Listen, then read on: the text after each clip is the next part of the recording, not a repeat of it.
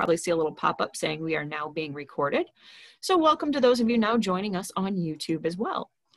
So, my name is Jamie Viebach, and I am the Will County Director for the Conservation Foundation. I have also been your host and guide on this wonderful conservation tour that we've been doing for the last six months. Crazy. Um, once again, as this is a webinar format, everybody's muted, your cameras are off. So uh, if you're joining us in your pajamas or whatever, drinking your coffee, you know, welcome. Um, this webinar is being recorded so that everybody can enjoy it later. As I mentioned, we're keeping these on our YouTube channel. So um, if you have to leave early or something calls you away, that's fine. It'll be uploaded to YouTube within a day. If you have any questions, please use that Q&A box. That lets everybody see your questions, also makes it easier for us to find them all because um, the questions can sometimes get lost in the chat. So we'll answer any questions that you have at the end. Um, for your safety, you should only be able to see what I post in the chat, but just in case I missed a setting or something, please don't click links other than what we may post. On the TCF side of things, these webinars are offered free to the public. However, we do encourage you to consider a donation or a membership.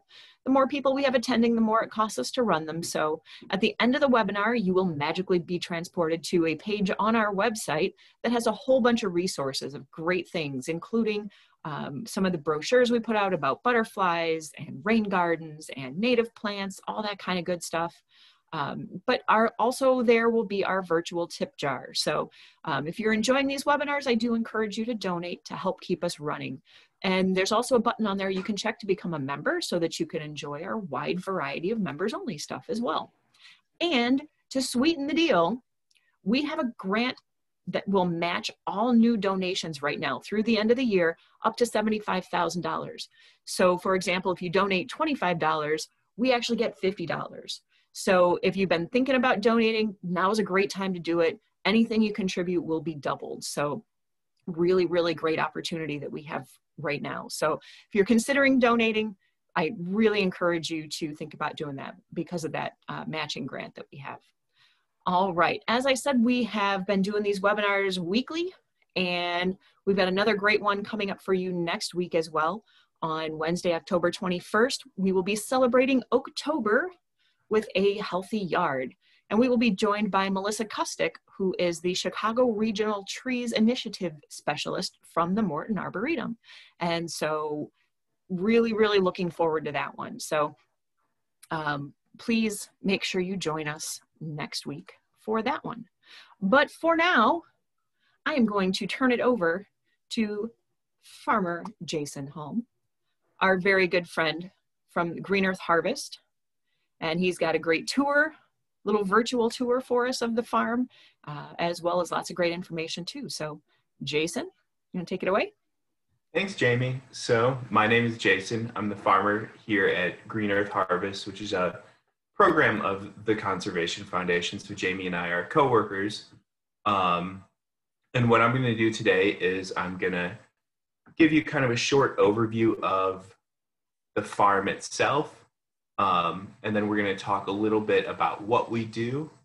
And then I'm going to talk a little bit about how some of the farm practices that we use can potentially be carried over into a home garden, which it sounds like most attendees here have a garden. Um, so, a few things.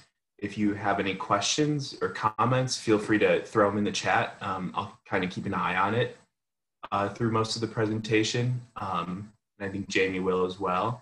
And if you can't hear me or if you're having issues like that, um, also make a note of it in the chat and uh, we'll attend to it pretty quickly. Um, so let me just share my screen here. Perfect. My lovely email inbox. And here we are. Um, I'm going to start actually in Google Maps. So I'm going to give you kind of an idea of where we are.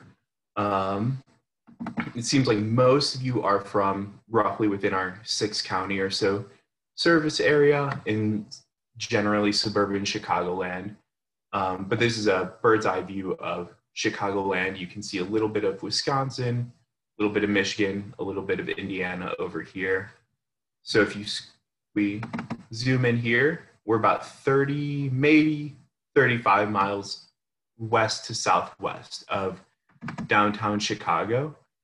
I have it in the satellite view so that you can really see how surrounded by urban and suburban sprawl we are. You can see a few forest preserves, a few um, islands of habitat in here, but overall, as we get closer and closer, we are very suburbanized. You can see all these subdivisions. Um, again, Springbrook Prairie, a great forest preserve, Green Valley, a great forest preserve. And then the farm is right here, surrounded by subdivisions. And in fact, you can see surrounding this 60 acre property um, a street that dead ends right here on kind of the top side of it, and then another street that dead ends down here. Um, I'm not sure if the intent was ever to connect them, but at one point it was almost a foregone conclusion that this farm would be paved over and turned into a subdivision. And at Green Earth Harvest, we're pretty grateful that it has not turned out that way. Um, and now I will start this slideshow. so as I said before, Green Earth Harvest is a program of the Conservation Foundation. So our missions are really one and the same. We're here to support the health of the land and the local community and everything that that entails and everything that supports that. Um, if you have any questions, I'll pop up my email again later, um, but I'm the farm manager here on McDonald Farm in Naperville. Um, and so the first question is what do we do? We grow vegetables almost full stop. The vast majority of what we do. Once you really get into it, it turns out that there's a lot that's involved with growing vegetables. I don't, who would have thought? Um, but we kind of grow everything from winter squash that you see in this, the pumpkins and kabocha squash, the summer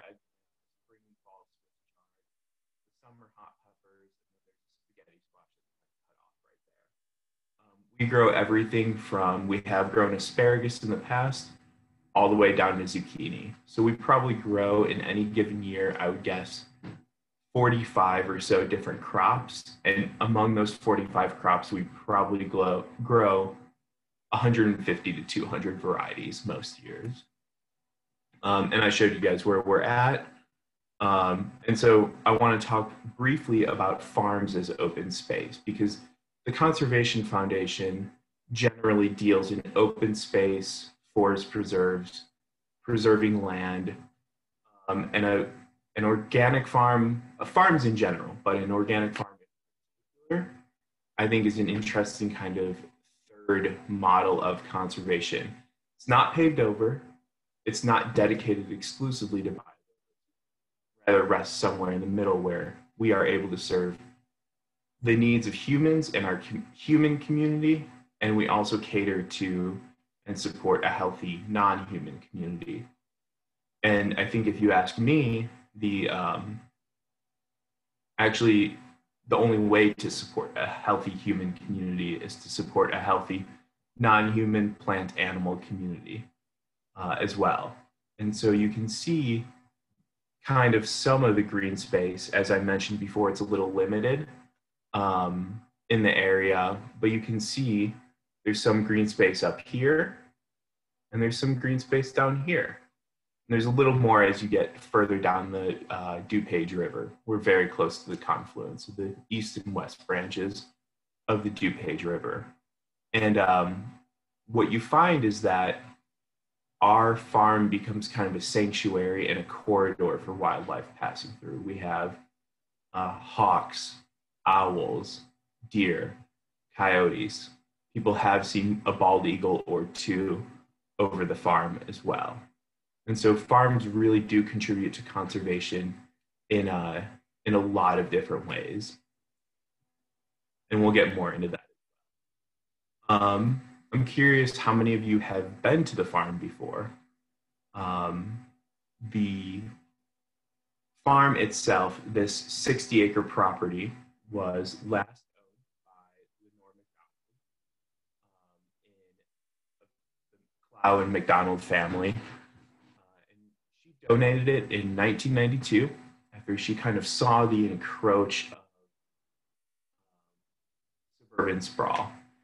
And the story, as I've heard it, is that she sold off kind of a back portion of her property of her farm to her church for you know pretty low price, and they kind of promised her they would build like a, a retirement home or a retirement community, and that she could live out her days there uh, once she you know was kind of past the most active years of her life.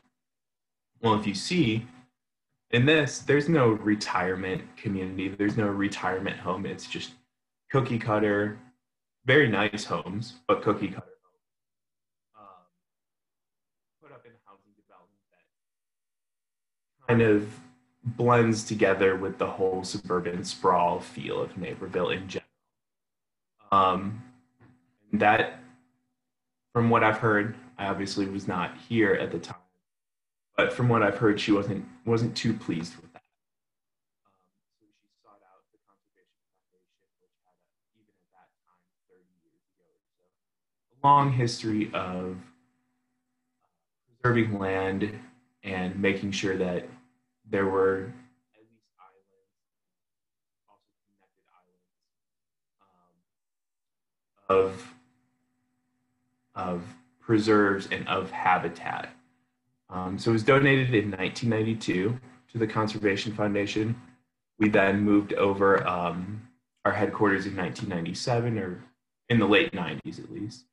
Um, and then Green Earth Institute, which I'll get into in a minute, began in 2003. It was our Green Earth Institute's first growing season growing organic vegetables. Um, let me just look at the chat. I'm curious to hear what you guys are saying. I can't. Oh, your audio's cutting out a little bit here and there, Jason. It's just getting real quiet for some reason. I'm not sure what's going on. Okay, I'll sit a little bit closer and, and hopefully it. Um, oh, hey, David. Um, and hopefully that helps a little bit. Let me know if there's anything you guys miss in particular, and I'd be happy to talk about it. Sorry about that. Thanks for bearing with us. Um, and so I'm just going to play a little bit of video from this overhead drone footage that was taken at the farm, I think last year. Uh, and I'm going to show you guys a couple small clips to get you a sense of, of what we're looking at.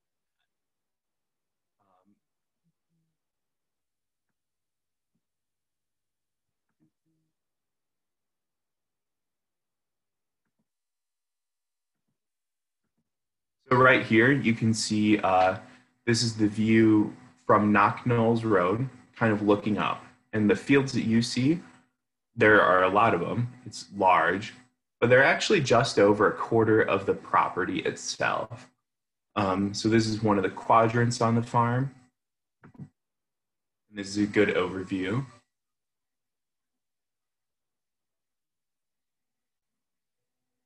Mm-hmm. And now these are some of the this is like the main barn complex. Um, and you can see i'm going to pause it right there. You can see some of these greenhouses that we grow in-ground vegetables in in the spring and fall. Um, this is the barn where most people come to pick up their vegetable shares. This is our wash pack where we wash uh, most of our vegetables that come in some like tomatoes peppers things that are a little more susceptible to moisture damage um, don't get washed necessarily with water. This is our north greenhouse where we grow uh, most of our seedlings throughout the year. And then this little structure right next to this garage building is the chicken coop where we will start onions in February. We grow microgreens in there. Um, it's about 75, maybe 100 square feet, but it is a really important piece of the farm also. Played here.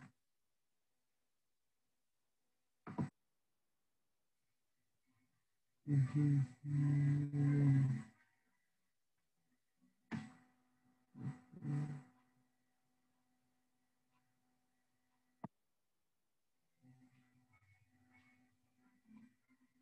And then this is a good overview just of the property in general.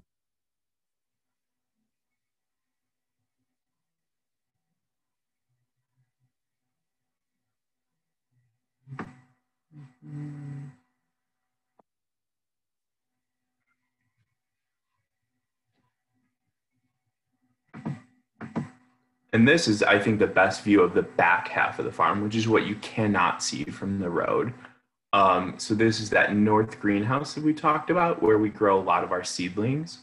And then these are the two west greenhouses where we grow in ground predominantly for the early spring share and for the late fall share, um, where it becomes too cold, um, or it starts out too cold in the spring and then becomes quickly too cold uh, in the late fall as well.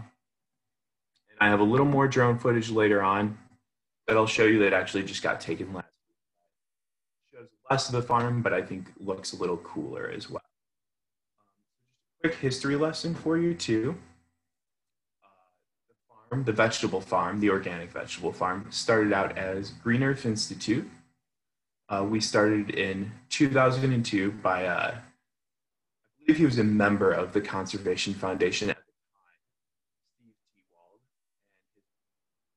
And it would be a crime to not mention that his wife, Karen Hutt, also um, was instrumental in the success of the farm in the early years.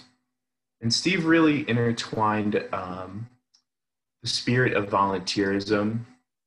Uh, he named it the Green Earth Institute because he viewed education uh, being an enormous piece of what the farm would do. And then obviously vegetable production.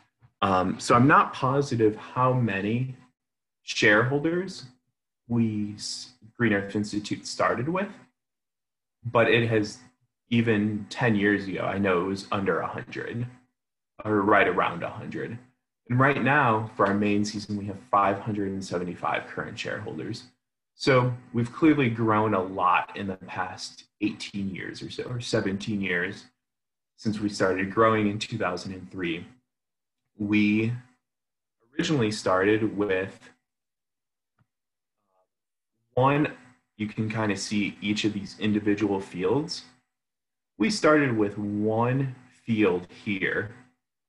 Then the second year it grew to two, which is crazy, doubling your capacity of growing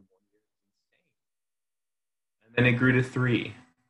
And then they put in um, an underground irrigation system that you know can get water to all And so now we have 10, we have something like 25 or 30 different fields that we grow, all roughly an acre or so. So it really is important to, you know, keep in mind Steve worked really hard to begin Green Earth Institute. Um, and it really harnessed a lot of energy in the community healthy food, for community engagement. And so we really try to keep that alive as we move forward. In 2018, at the beginning of it, Steve stepped down from his position as executive director of Green Earth Institute. He retired for the second time and he um, and Green Earth Institute then merged with the Conservation Foundation, who Green Earth Institute had been leasing the land from for a long time. So it was a partnership that was already really good, was already great, really healthy, a lot of common goals in mind. And over the past two years, we've um, really embedded ourselves into the operations of the Conservation Foundation, and our merger two years on is just about complete, which feels really nice. Um, we're de- it's a great home for the center of the organic farming. Um, and we are the only organic farm in Naperville, which is great. Although we would love to see more. So, our mission is that we grow healthy. We grow healthy soil, then we grow healthy vegetables, then we grow healthy people. This is a picture of our farm crew, or a few members of our farm crew and a pizza slice.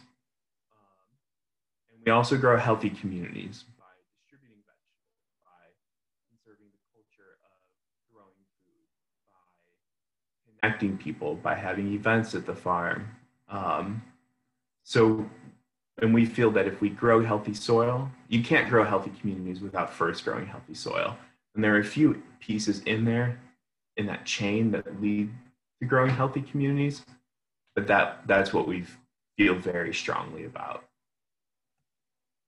Um, a common question that we have is where do you sell? And so we have, this says plant sales, it should say plant sale.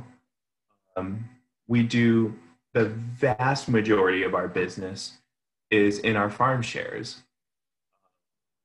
Like I said, in the main season, we have 575 shareholders. And I'll explain a little bit more about the farm share kind of program um. We have a farm stand on Wednesdays from 3 to 6 uh, through the summer and this year through likely the end of October, right at the foot of our driveway where we sell fresh organic vegetables. Um, and then we have plant sale, uh, a plant sale in May where we grow seedling or where we sell seedlings. We also might this year sell some seeds. We sell compost. Um, we sell really nice herb boxes, handmade, and we grow everything that we sell. So we grow everything at the plant sale from seed to plant, and everything at the farm stand and farm shares from seed all the way up to fruit or leaf or vegetable, final vegetable. Um, so it's a great feeling as people come up to the farm stand, they say, Oh, where was this grown? And you can turn and say, Right here. Um, oftentimes, right in the fields that they can see, which is a great feeling. Now, I'm going to talk a little bit more about kind of the individual um, sales avenues, I guess. So, our farm stand we started last year. Uh, it runs from 3 to 6 p.m. on Wednesday afternoons. So, if you get out there today, you can see Jackson. Today we'll have, I think, broccoli, um, baby kale, kale, hakurei turnips, which are really delicious sweet salad turnips, cabbage, and a few other things, scallions, a few other things. So we sell predominantly vegetables there. Uh, one of the big ones that we sell is tomatoes. We're well past the tomato season this year, at least the big tomato season, but uh, at our farm stand, we sell pounds and pounds of bulk tomatoes. Um, we also sell honey that's produced on the farm. There's a beekeeper that ha- his only hives are now on the farm property itself. And so honey is bottled from there. We sell it at our farm stand, at our farm share uh, pickups. So that's great. And then we also will occasionally in the summer sell flowers. We are selling these support your local farmer shirts. Uh, and we'll sell other small things from the farm throughout the year as well. Our plant sale, which is one of my favorite days of the year. I know Cassie's watching. I know that it's her favorite day for sure. Um, we sell peppers, tomatoes, summer squash, winter squash, cucumbers, melons, compost bags, herbs, planter gifts. Um, there's a lot that we sell there. It's also this past year we had to transition into a kind of a drive-through pre-order model, but most years it's this really awesome um, open house where we do farm tours and there's children's activities, and you can also buy native plants here, which is a byproduct of merging with the Conservation Foundation that we can support the mission of growing healthy vegetables and healthy landscapes all in one fell swoop. Um, so this is the Saturday before Mother's Day. I believe every year it has been at least few past few years, and it um, it's really a great way to kick off the season. Definitely, we love having a ton of people on the farm, or before this year at least. We loved having a ton of people on the farm after kind of a winter where you don't really, not as many people get to experience the joy of the farm. So in these pictures, you can see tomatoes the day before the plant sale. You see some of the, this is a yellow zucchini actually that we grow, or a golden zucchini, Goldie, that we grew this year. Uh, and then a ton of basil plants before they get potted up into their final, um, into their final sales pots. Um, Melissa asked, and I missed this, this was a few minutes ago, but Melissa asked, do you give any donations of plants or veggies to the community? And we work with Loaves and Fishes, um, which is a local food pantry that works to alleviate hunger in our local community. We will give them a lot of, we will sort our tomatoes, sort our potatoes, sort our peppers. And a lot of times when we sort things, we have our firsts for, for us to sell, for us to sell. Then we have our seconds to sell. The firsts are to sell or put into farm shares. Then we have our seconds, which we'll donate almost always. Um, and then we have our thirds, which are compost. So we do work with loaves and fishes to give them surplus uh, seconds or sometimes even firsts if we just have way too much. And one thing that I definitely pride ourselves on, or we pride ourselves on, is that um, a lot of times grocery stores will kind of give whatever they have that's bad to these to loaves and fishes or to other food banks um, and we really make sure that we're giving them something that they know that they can hand out and that they know people will appreciate. Um, we don't give them compost, basically. We also received a grant this year to give 10 low income families um, farm shares at no charge to them, but the grant pays us for that. Um, and so we've been able to expand some access to people who otherwise wouldn't be able to access um, our food, which is great. Um, and we hope to continue that on an ongoing basis in the next few years. So we're looking for potential avenues to fund that, to help us with it. Um, but that is really central to what we want to do going forward. And then we also have donated or have sold at a really discounted price plants to local community gardens in the past. Um, Anish, we do not have orchards. We do have a few fruit, a few fruit trees, as Jamie said. Um, we have a volunteer who's kind of in buffers, planting um, in the buffers, like right along the edges of the property, planting a few a few fruit trees, but not anything resembling an orchard. This year, we did have strawberries that shareholders could um, could come and you pick for the first time, which is really exciting. And then we're on to the most exciting part the farm shares. Um, we have three seasons. We have our spring share, which is basically four weeks from Mother's Day to Father's We have about 150 shareholders for that. We have our main season, 20 weeks of marathon. Runs from about Father's Day or mid mid June, a little bit before Father's Day, Halloween, the end of October. We got two and a half more weeks left. Um, and then we have our fall share, which is the month of November, basically, from Halloween to Thanksgiving. And so these three pictures aren't, they don't encapsulate everything you would get in a farm share, but they're good snapshots. Um, in the spring, you get a lot more greens. In the main season, you get a, an odd mix of stuff. You get greens, you might get some microgreens, you get tomatoes, some root crops, and towards the end, you probably start to see some of the start to see. Whew, talking a little too fast. You probably start to see some of these root uh, storage crops like onions. Then in the fall, you get really gorgeous greens, really gorgeous um, frost sweetened greens. You get collards, you get kale, and then you also get a lot of storage crops.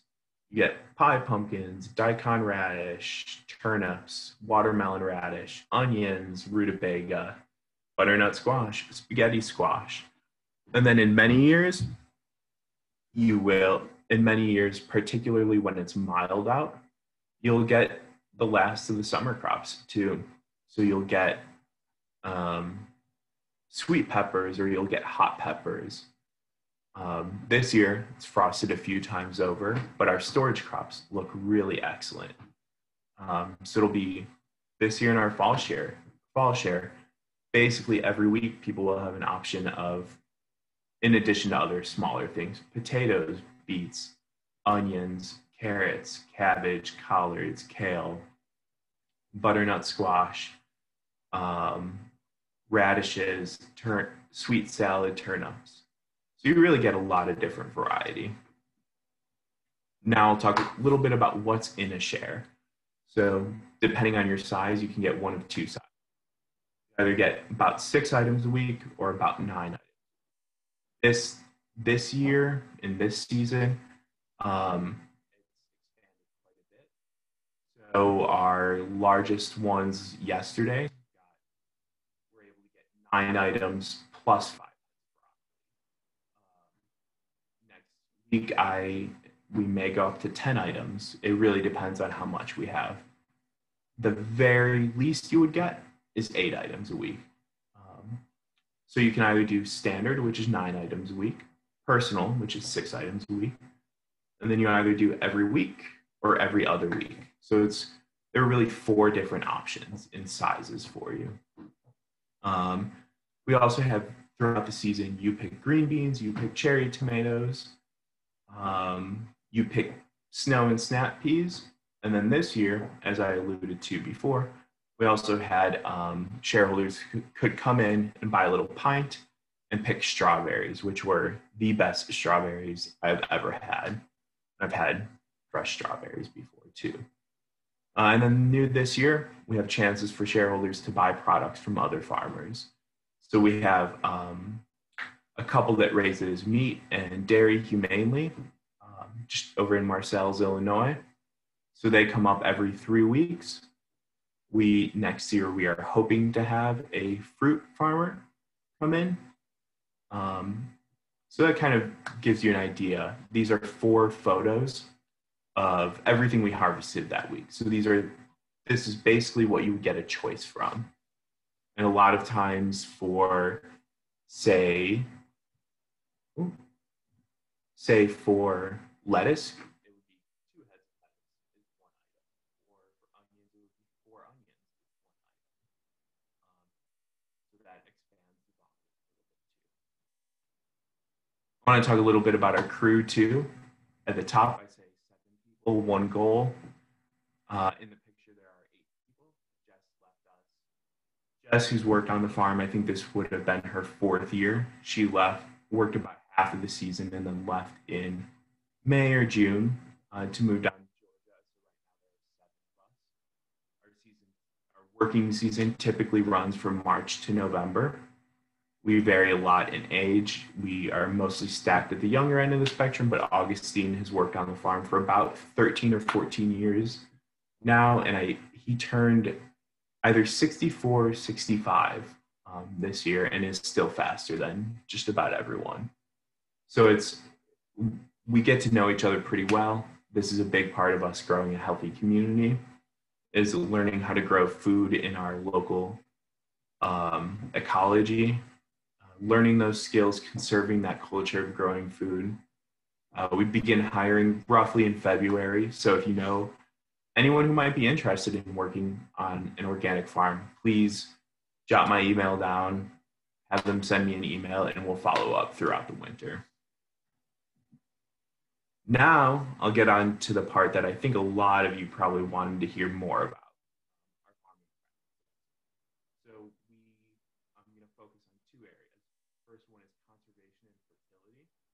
we conserve water, energy, soil, and biodiversity. And then I'm going to talk about pest management. Jason, do you want to say that again? You're cutting out. We're having a hard time hearing you. Yeah, we so we conserve we conserve water, energy, soil, and biodiversity, soil and fertility. Um, and then these are some of the pests that we have to manage for. We manage for deer, certain types of bugs, for rodents. We also manage for pathogens even before this year um, fungal, bacterial, viral um, on plants. Boom. So, in terms of conserving water, we store rainwater. We store about 25,000 gallons at a time when it rains, which wasn't very often this year. Fortunately, we also have a well that we can fill that cistern with, but that cistern is what we water our fields with. So all irrigation water comes out of that cistern. We have downspouts on the barn and on several other buildings on the property that all feed into this underground cistern. And one way you could um, kind of institute that in your in your home garden is to have a rain barrel, which the Conservation Foundation also sells basically at cost for us. Um, we're really trying to get people to conserve water, um, keep from over, you know, take some of that rainwater, try to keep from overflowing our storm systems or our storm drain systems. Um, we use drip tape on some crops, which is, you know, very long, thin hoses basically that drips out very uh, infrequent or very low amounts of water. Um, this creates less evaporation, particularly in the heat of summer. And it also creates less disease for tomatoes, for peppers, for squash, things that if you watered from overhead might have fungal issues. Um, one way you could kind of recreate this at your house or in your garden is to use soaker hoses. Uh, I've never used them before, but it seems to me that they would kind of simulate that similar effect. Um, and then we also reuse our water or pass our water on down downstream um, from our wash pack. We have a French drain that goes into the Resiliency Institute permaculture garden, which is also on site. Um, we also conserve energy. We have a wind turbine at the farm and we have solar panels. Um, those provide, I've heard, up to about a third of the electricity used on the farm property. the farm property houses offices for about 20 or so it's not a trivial amount of electricity that they provide. We also conserve energy with greenhouses. They're kind of farming's first or one of farming's first um, modern batteries. We are covered in clear plastic. The sun shines through them. It heats up in the house, and then the and then the heat is less likely or not able to escape as quickly as the sunlight was able to get in. Um, so that keeps us from having to heat our greenhouse or heat our growing space. Um, and it's just passive solar. We don't really use much, if any, heating in the fall, even when it hits 10, 15 degrees or so in these greenhouses. And then we also really, pardon me, we also really strive to use appropriate tools for the task. So all the way to the left, you see what modern farming looks like sometimes in Iowa, in central Illinois. And then in the middle, you see what farming sometimes looks like for us uh, when we're seeding things. This is one of our smallest tractors. I kind of intentionally used it to make a point. But we don't have combines. We don't have very large machinery. We work a lot by hand. And really, every year, we're transitioning more and more cultivation into hand cultivation. Um, what can we do on a smaller scale, but what can we do better? And we really want to use less plastic, less fossil fuels. What can we create more of with less is a question that we often ask ourselves. And then, really, the center of our work on the farm is soil and fertility. We um, fertility is both biological and chemical. So we, in addition to growing vegetables, we also fallow fields. So we have a crop rotation. Um, after, say, tomatoes, which are very, they feed a lot of nitrogen. They require a lot of nitrogen from the soil, which when people talk about fertility is often what they're talking about. So tomatoes require a lot of nitrogen from the soil. After tomatoes, the next year we will either grow a cover crop like this red clover. Sometimes we find some four leaf clovers on the farm too. Um, or we will sometimes let it go fallow or let it go bare. More often we'll plant cover crop. We're always trying to get roots into the soil. We really don't want bare soil for more than a week or two at a time because then you start to get wind erosion, water erosion, uh, and it's not great. And those cover crops will fix nitrogen, they'll add carbon, or they'll fix carbon and add it to the soil, which is great for the soil. And they just add more organic matter, um, which feeds microorganisms and animals in the soil. And as a result of that, we can start to build healthy soil, healthy vegetables, healthy people, and then healthy communities. Um, the organic guidelines actually require that you take into consideration particularly soil and fertility conservation. Um, they address water, they address energy, they address biodiversity, but they really focus on the soil. And so they are, we're certified organic by MOSA, whose logo you can see here. Um, and one of the big ways also that we add fertility to the soil is we use a limited amount of compost that we mix ourselves with um, horse manure and with leaves. And so that's one thing that you can do at your house. You can sow cover crops. Um, you can sow cover crops underneath your vegetables. You can compost. You can use your leaves even to mulch. Even if you just have leaves that you mulch in the winter, you're gonna keep you're gonna keep soil from running off. You're gonna contribute to building that soil. So that's a good first step, uh, even if you're not ready to start playing around with cover crops. And we also conserve biodiversity.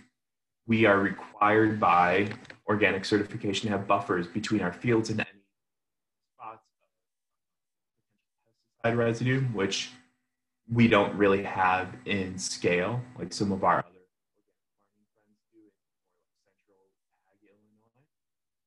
we have several natural areas on the farm. Um, we, as I mentioned before, we diversify, we plant and crop and rotate those plants and crops. Um, and we also focus on habitat construction, uh, not just preservation. So we will, um, you know, we really like to encourage hawks and coyotes on the farm. It's part of our pest management strategy.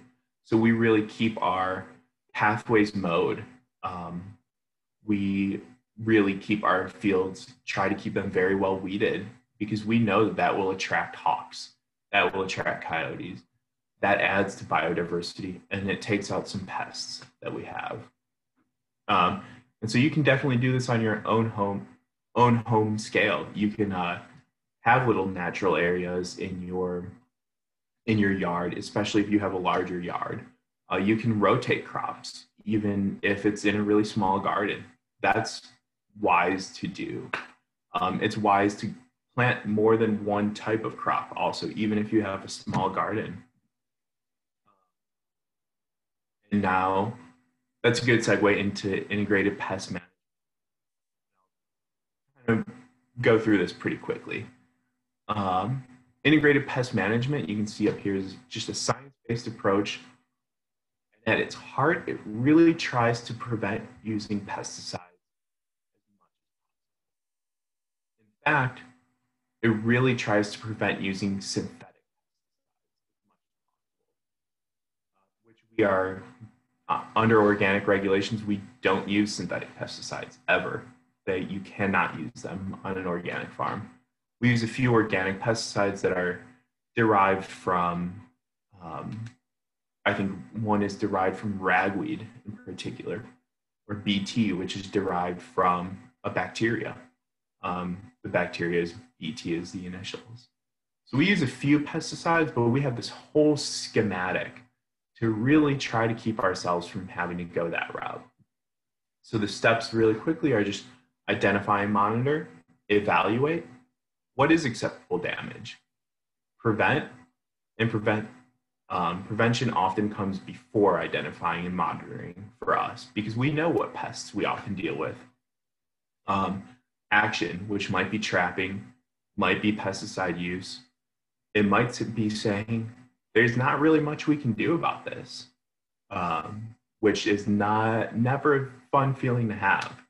But sometimes that's that's the reality, and you really have to weigh how much benefit will an action carry versus how much time will it take, what is the ecological cost, and then you continue to monitor the pest. Um, and this is really a circular uh, flow. So you're constantly doing all five of these.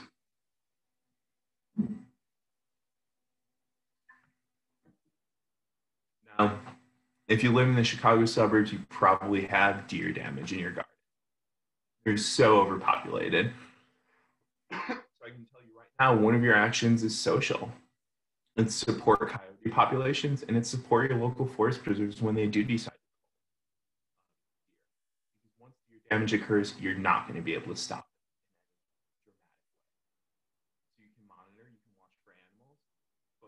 and you can watch for damage to foliage then you kind of have to evaluate what is acceptable damage. Um, deer can really devastate a crop. There's not many times where they will just do acceptable damage. They'll chew through lettuce, they'll chew through radicchio, they'll chew through beet greens and spinach. Um, the best prevention is fencing. Um, if you have a large yard, try to plant in places where you know deer don't really come through very often. And then on the farm, we also cover our greens with a small um, or with a really thin fabric. And that seems to work pretty well.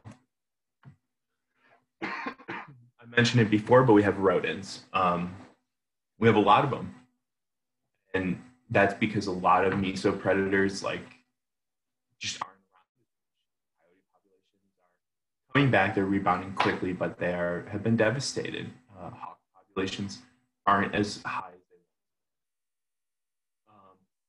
we monitor. We just basically monitor damage to foliage, seedlings, and roots. And then we evaluate. The levels for acceptable damage are drastically different between a greenhouse, the field, and storage of a crop. In crop storage, the acceptable level is zero, period. In a greenhouse, as you're starting to grow them into little seedlings, you really don't want to see much. You really cannot accept that much damage because that's should be the most sheltered time in the plant's life. In the field, there's really not a lot you can do. Um, as far as prevention goes, you can intercrop marigolds, scallions, onions are often really good uh, prevention plants. You can use raised beds. Hopefully that keeps them out. You can put in wire barriers underneath your vegetable beds we use this product called Plant Skydd, which is organically approved. You just sprinkle it on your bed and it is a deterrent. It's an organic deterrent. We also use noise and light deterrents um, in our greenhouses, particularly. They, you leave the lights on in a room, mice aren't going to come into it very often. Uh, and then we also use mouse traps also. So appropriate trapping is really a big, uh, the big action step. For bugs like flea beetles, we monitor, we watch damage to crops, we do regular scouting, sample plants, you know, cut them, really take a look at them. Uh, we've also sent plants in to the University of Illinois Extension to monitor.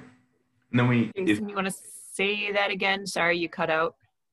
Oh yeah, thank you, Jamie. Um, we've also so we can monitor sticky traps just to see the levels of bugs um, the damage to crops, regular scouting, you may have to get on your hands and knees in your garden to really see if you're having damage from, from um, certain animals, from certain bugs.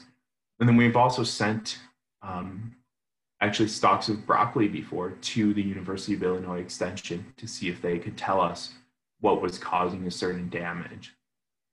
Um, then we have to evaluate. Eliminating an insect or bug population is almost always impossible it's not really that desirable. We don't really care that the bug is there. We care that the damage is there. And so your acceptable damage level varies between crops. Potatoes can be defoliated, meaning their leaves can be eaten.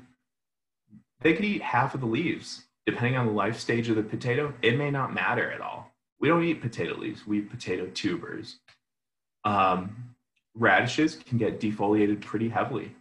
Arugula, not so much because we eat the arugula leaf you know so you have to keep that in mind. What are they damaging? What part of the plant? What part of the plant is a crop?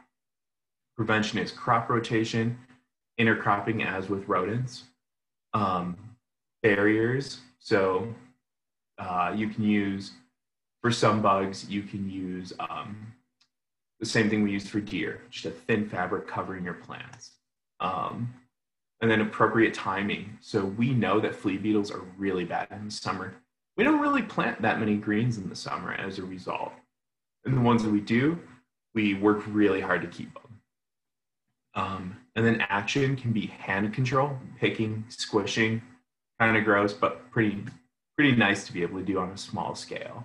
Um, we use pesticide application also, bio bio pesticides on our farm. Action for bugs in particular is exponentially more effective at early stages. As soon as you see a bug in your garden, a pest that is, you should be thinking about how you're going to control it.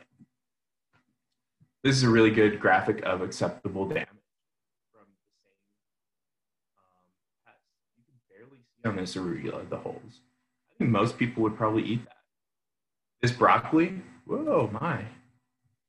This broccoli is really not going to grow into much.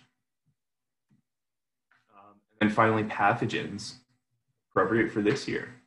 Um, we monitor we watch, we watch moisture levels, we watch humidity levels, kind of in general. Um, And then we evaluate how many days are left for the crop. Pathogens will spread. You can never decrease them, but you can slow their spread. Um, for tomatoes, oftentimes a fungal uh, infection will kind of consume the entire crop by the time uh, by the time frost kills them. But we know at the beginning of October, we're not going to do anything for that because we know that it wouldn't really pay off. It wouldn't be worth the ecological, the monetary, or the time cost to apply any biopesticide or take any big action. Um, to prevent, you can do preventative applications of some biopesticides, like hydrogen peroxide is a really common one for really heavily diluted hydrogen peroxide is really common for tomatoes in particular. You can increase spacing so there's more airflow going through, preventing the pathogen spread and then appropriate irrigation. You don't overwater. Water the roots, not the leaves, because that's where the plant uses it. And then your actions, once you do see it, are you can do pesticide application. Even for us, we don't really do that very often.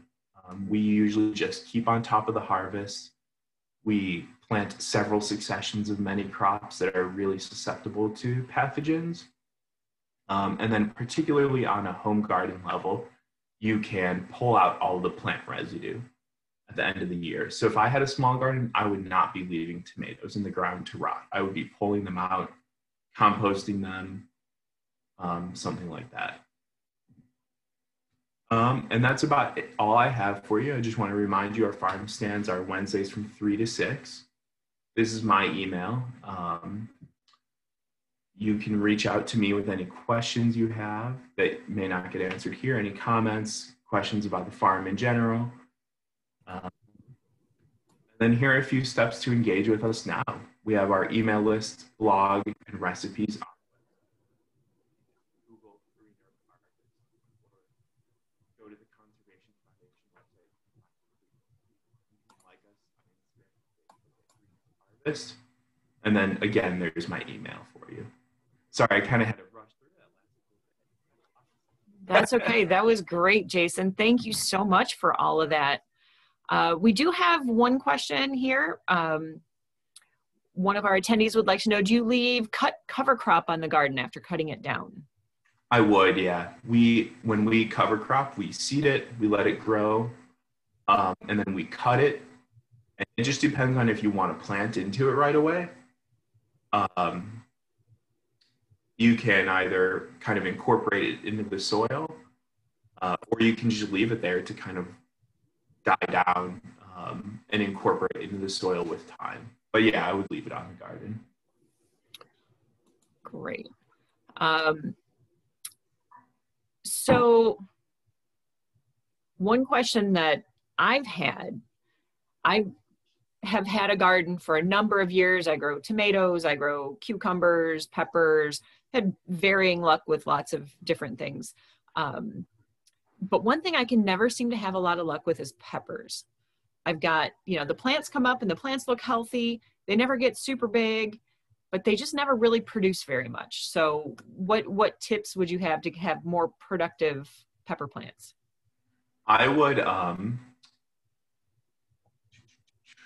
peppers are difficult. And for me, they're we've had good luck with them in the past few years, but for me, they're always really stressful because it's like they're never there until they are. Since it's just like somehow, some way, they usually come through for us, but they re- they rely a lot on a mineral rich soil. So you could, if you really wanted to, if you really were really curious, you could get a soil test and okay. see what soil looks like. They're fairly cheap. I would think that one sample would run like $15, $20, but I'm not positive. Um, but if you don't want to do that, I would supplement it with a little bit of calcium. Um, good way that I've heard people do this before. It's totally impractical on a large scale. But if you compost, um, take your eggshells that you're composting, set them aside separately, grind them up, and put them where you're going to be planting peppers. In the, oh, okay. Yeah, I've heard I've heard mixed stories about whether that calcium's available to be uptaken yeah. or not. So, um, yeah, I, I definitely compost my eggshells though for that reason. Plus, it's also good pest control too, from what I've read. So yeah, um, yeah, that makes sense. The uh, composting uh, at home is another really great way to do this. I know we compost on a very large scale. We actually take in um, material from the city of Naperville when they do their um, like their leaf pickups and things. Right, we take in a lot of that material to compost. Yeah. Oh, so, sorry. I was looking at the chat. Um, yeah, we take in the leaves from the city of Naperville, um, which is really awesome. The so we get about sixty to seventy truckloads full of leaves from the city of Naperville, um, which is just a huge carbon source for us. And then we will also be getting this year several truckload, tr- several truckloads, pardon me, of horse manure from a local farm. I think the one we'll, we'll go with this year is about three miles away. Oh, nice. nice. So it's really nice to, yeah, last year we had to go a little bit further, like 20 miles or so. But even that, I think, is better than getting synthetic fertilizers, you know, coming in from half a world away. Yeah, yeah, of um, course.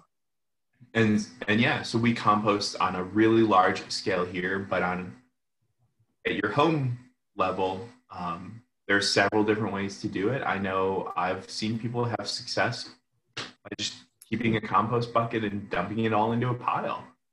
And we do, I did a webinar on composting, so that is on the YouTube channel. So if you're interested in learning more about home composting, go ahead and check out that recording there too.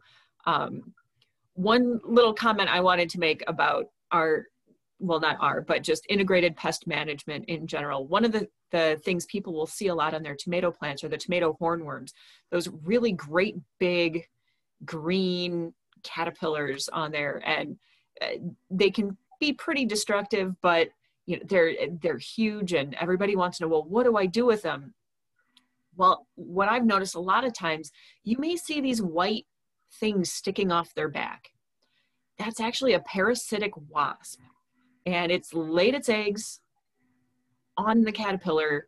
The larva of that wasp eat away at the caterpillar, and then when they hatch out of their cocoons, it, it effectively kills the caterpillar and and um, creates more things that will kill more caterpillars. So um, it, it's one of nature's own ways of of pest management that that you can take advantage of much like ladybugs that eat aphids you know, a lot of times when we have a balanced ecosystem, nature kind of takes care of herself and, and keeps everything in check. A lot of times, things that we humans do will knock things all out of whack and and um, make them unbalanced. And yeah, and the um, using nature is a great way to do that. Yeah, the a lot of the agricultural pests, particularly like insects that we have, are um, from Europe and from Asia and from the old world. And so where the crops are from. Exactly. Tomato hornworms are I've also seen people even when they don't have these wasps, um, I guess they produce really beautiful butterflies. And so I've seen people even like market gardeners, people who make a living from their tomatoes, just pick them off and put them in a bucket and kind of keep them as pets until they hatch up and these beautiful butterflies. Because in the end it's i think i said it before we don't hate the pest. We but we really don't like the damage that it brings. Right right. Kind of yeah I, different I, I think two. it um tomato hornworms turn into a type of hawk moth if i'm not mistaken. i think that's right yeah yeah i i used to have a bearded dragon and he loved to eat hornworms so anytime i would find one i would just go feed him to my bearded dragon All right. Well, I'm not seeing any other questions. So I think we will go ahead and end it with that. Thank you so much for joining us, Jason. It was great to have you. Great learning about um, the the farm side of things, which I don't always get a chance to see very much of. So um, always great to hear things that are going on in the farm. And I will say, as a, I think this is now my fourth year being a member of the CSA this is and and it's this is actually my the third csa that i've belonged to ours is by far the best and i'm not just saying that because they're paying me to um, it, it just the quality of the produce is better than any other csa i've belonged to. The quantity is always very good. Um, and I, I i love being able to kind of walk around inside the barn and pick out the things that i want. You know my family's not very big on kale so i don't take kale but i might take some extra potatoes or extra peppers or extra broccoli. Um, and and so it's always really nice to be able to select the things that i know we're going to use and not end up with a bunch of things like what do i do with celeriac i don't even know so so um, anyway so thank you so much for the overview of everything and uh, take care everybody thank you all for joining us today and we hope to see you again next week for more on Oaktober. take care everyone Thank you. Bye bye